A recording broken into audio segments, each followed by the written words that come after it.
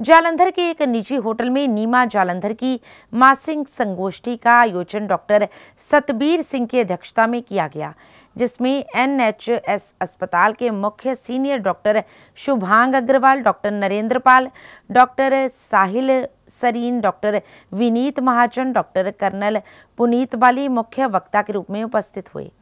Doctor Sandeep Goyal, neurologist director NHS और doctor Naveen Chitkara neuro surgeon भी उपस्थित रहे।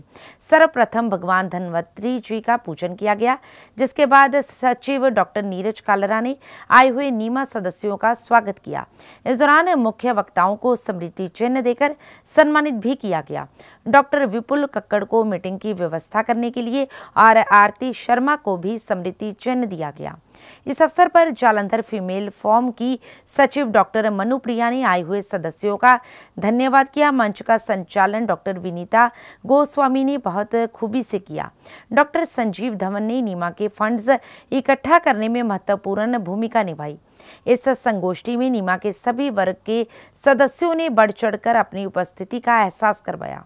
अंत में राष्ट्रीय गान के साथ मीटिंग का समापन हुआ। इस अवसर पर doctor K S Rana, doctor Pawan Vashisht, doctor Satish Sharma, doctor I P S Sethi, doctor Ashu Chopra, doctor Rajiv Dhawan, doctor Vipul Kakkar doctor Surinder, doctor Rajkamal, doctor Gandhi, doctor B S Bhatia doctor Sugandha Bhatia doctor Ralhan Handa doctor Harpreet Kaur doctor Ramesh Kamboj doctor Balbir Hastir के अलावा DAV Ayurvedic college के final year के विद्यार्थियों ने भाग लिया जालंधर से हलचल के लिए कैमरामैन जतेंद्र की रिपोर्ट ਡਾਕਟਰ ਸ਼ੁਭਾਂਗ ਅਗਰਵਾਲ ਜਿਹੜੇ ਕਿ ਰੋਬੋਟਿਕ ਨੀ ਸਰਜਰੀ ਦੇ ਮਾਹਰ ਹੈ ਉਹਨਾਂ ਨੇ ਬਹੁਤ ਵਧੀਆ ਤਰੀਕੇ ਨਾਲ ਦੱਸਿਆ ਕਿ ਕਿਵੇਂ ਗੋਡਿਆਂ ਦੀ ਪ੍ਰੋਬਲਮ ਜਿਹਨੂੰ ਅਸੀਂ ਆਸਟੀਓਆਰਥਰਾਈਟਿਸ ਕਹਿੰਦੇ ਆ ਜਿਹਦੇ ਵਿੱਚ ਕਿ ਗੋਡੇ ਘਿਸ ਜਾਂਦੇ ਆ ਗਰੀਸ ਘਟ ਜਾਂਦੀ ਹੈ ਉਹਨੂੰ ਕਿਵੇਂ ਆਪਾਂ ਇੱਕ ਰੋਬੋਟਿਕ ਤਰੀਕੇ ਨਾਲ ਔਰ ਅੱਛੇ ਤਰੀਕੇ ਨਾਲ ਇਹਨੂੰ ਆਪਾਂ ਰਿਪਲੇਸ ਕਰ ਦਈਏ ਔਰ ਕਿਸੇ ਵੀ ਏਜ ਵਿੱਚ ਨਾਰਮਲੀ ਇਹ ਵੱਡਿਆਂ ਦੀ ਪ੍ਰੋਬਲਮ ਹੁੰਦੀ ਹੈ 올ਡ ਏਜ ਦੀ ਪ੍ਰੋਬਲਮ ਹੁੰਦੀ ਹੈ, ਪਰ ਉਹਨਾਂ ਨੇ ਦੱਸਿਆ ਕਿ ਅੱਜ ਕੱਲ ਯੰਗ ਏਜ ਦੇ ਵਿੱਚ ਵੀ ਆਸਟੀਓਆਰਥਰਾਈਟਿਸ ਹੋਣੀ ਸ਼ੁਰੂ ਹੋ ਗਈ ਹੈ। ਡਿਊ ਟੂ ਖਾਣਾ ਪੀਣਾ ਔਰ ਕਈ ਚੀਜ਼ਾਂ ਹੁੰਦੀਆਂ ਜਿਹਦੇ ਨਾਲ ਇਹ ਚੀਜ਼ਾਂ ਬਹੁਤ ਅਰਲੀ ਹੋਣੀਆਂ ਸ਼ੁਰੂ ਹੋ ਗਈਆਂ ਔਰ ਕਿਵੇਂ ਇਹਨੂੰ ਆਪਾਂ ਠੀਕ ਕਰ ਸਕਦੇ, ਬਹੁਤ ਸੋਹਣੇ ਤਰੀਕੇ ਨਾਲ ਸਾਨੂੰ ਜਨਰਲ ਫਿਜ਼ੀਸ਼ੀਅਨਸ ਨੂੰ ਜਾਣੂ ਕਰਵਾਇਆ।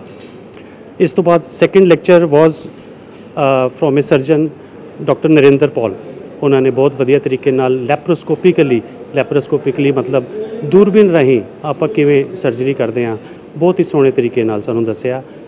ਮੈਂ ਡਾਕਟਰ ਵਿਨੀਤ ਮਹਾਜਨ, ਮੈਂ ਐਨਐਚਐਸ ਹਸਪੀਟਲ ਚ ਚੈਸਟ ਸਪੈਸ਼ਲਿਸਟ ਹਾਂ ਔਰ ਅੱਜ ਅਸੀਂ ਨੀਮਾ ਜਲੰਧਰ ਦੇ ਨਾਲ ਇੱਕ ਮੀਟਿੰਗ ਕਰਨ ਆਏ ਹਾਂ ਤੇ ਫੋਰਚੂਨ ਹੋਟਲ ਦੇ ਵਿੱਚ।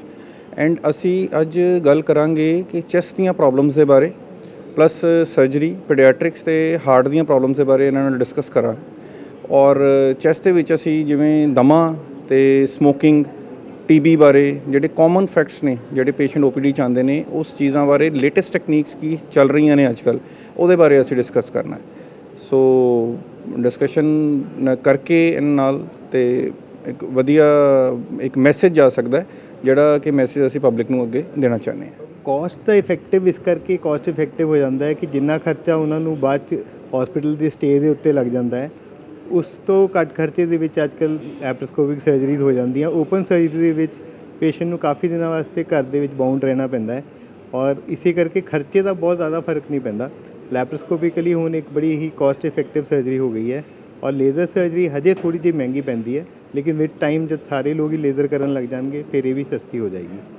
पुरानी ट्रीटमेंट नई ट्रीटमेंट में फ़र्क ये है कि जो पेशेंट्स हैं उनके लिए ये ज़्यादा लेस पेनफुल होती हैं उनकी रिकवरी जल्दी होती है कॉम्प्लिकेशन रेट कम होते हैं वूंड इन्फेक्शन नहीं होती क्योंकि वूंड ही नहीं होते तो इन्फेक्शन कम होती हैं तो इसलिए ये पेशेंट फ्रेंडली एक सर्जरीज हैं ਡਾਈਟ ਦਾ ਬਹੁਤ ਜ਼ਿਆਦਾ ਇਫੈਕਟ ਪੈਂਦਾ ਹੈ ਕਿਉਂਕਿ ਇੱਕ ਗਟ ਇਮਿਊਨਿਟੀ ਵੀ ਹੁੰਦੀ ਹੈ ਜਿੱਥੇ ਬੱਚੇ ਨੂੰ ਕਈ ਬੱਚਿਆਂ ਨੂੰ ਕਈ ਕਈ 14 14 ਦਿਨ ਤੱਕ ਬੱਚਿਆਂ ਨੂੰ ਦਸਤ ਲੱਗੇ ਰਹਿੰਦੇ ਆ ਪਤਲੀ ਟੱਟੀ ਕਰਦੇ ਰਹਿੰਦੇ ਆ ਇਹ ਬੇਸਿਕਲੀ ਡਾਈਟ ਤੇ ਤਾਂ ਇਫੈਕਟ ਕਰਦਾ ਹੈ ਡਾਈਟ ਤਾਂ ਇਹਦਾ ਤੇ ਇਫੈਕਟ ਪੈਂਦਾ ਹੀ ਹੈ। ਨਾਲ ਨਾਲ ਉਸ ਦੇ ਨਾਲ ਘਰ ਦੀ ਸਫ਼ਾਈ, ਪਾਣੀ ਦੀ ਸਫ਼ਾਈ ਸੈਨੀਟੇਸ਼ਨ ਕਿੱਦਾਂ ਦੀ ਹੈ, ਉਹਦਾ ਦਾ ਵੀ ਇਫੈਕਟ ਬਹੁਤ ਪੈਂਦਾ ਹੈ। ਦੇਖੀਏ, ਉਹਦੇ ਵਿੱਚ ਇੱਕ ਬੈਲੈਂਸ ਬਣਿਆ ਹੋਣਾ ਚਾਹੀਦਾ ਹੈ। ਯੂਜੂਲੀ ਆਪਾਂ ਪੇਰੈਂਟਸ ਨੂੰ ਵੀ ਕਹਿੰਦੇ ਆ ਕਿ ਹਫ਼ਤੇ 'ਚ ਇੱਕ ਅੱਧੀ ਵਾਰ ਜਿਹੜਾ ਬਾਹਰਲਾ ਖਾਣਾ ਹੈ, ਉਹ ਬੱਚੇ ਨੂੰ ਤੁਸੀਂ ਕਰ, ਕਰਵਾ ਸਕਦੇ ਹੋ। ਅਗਰ ਰੋਜ਼ ਹੀ ਰੋਜ਼ ਬੱਚਾ ਬਾਹਰ ਕੁਰਕੁਰੇ ਸਪਾਈਸੀ ਚੀਜ਼ਾਂ ਖਾਂਦਾ ਹੈ, ਇਹ ਗੱਟ ਇਮਿਊਨਿਟੀ ਨੂੰ ਵੀ ਘੱਟ ਕਰਦਾ ਹੈ ਤੇ ਬੱਚੇ 'ਚ ਹਰ ਤਰ੍ਹਾਂ ਦੀ ਬਿਮਾਰੀ, ਉਹ ਦੂਜਾ ਵਜਨ ਘੱਟ ਵੱਧਦਾ ਹੈ ਬੱਚਿਆਂ ਦਾ। ਇਹ ਸਾਰੀ ਪ੍ਰੋਬਲਮ ਬੱਚਿਆਂ ਵਿੱਚ ਰਹਿੰਦੀਆਂ ਨੇ। ਤਾਂ ਇਸ ਲਈ ਆਪਾਂ ਪੇਰੈਂਟਸ ਨੂੰ ਕਹਿੰਦੇ ਆ ਕਿ ਘੱਟ ਤੋਂ ਘੱਟ ਬਾਹਰਲਾ ਖਾਣਾ ਦਿੱਤਾ ਜਾਏ, ਬੱਚੇ ਨੂੰ ਘਰ ਦੇ ਅੰਦਰ ਹੀ ਕੋਈ ਮੋਡੀਫਿਕੇਸ਼ਨ ਕਰਕੇ ਘਰ ਦਾ ਹੀ ਖਾਣਾ ਬਣਾ ਕੇ ਦਿੱਤਾ ਜਾਵੇ।